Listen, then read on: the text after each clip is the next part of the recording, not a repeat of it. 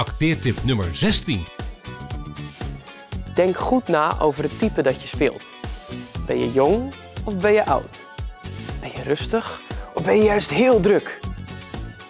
Leef je heel erg goed in in je personage en hou dat de hele musical vol. Is het elke dag een feestje? Je maakt van alles mee. Bij ons op de camping vieren wij vakantie en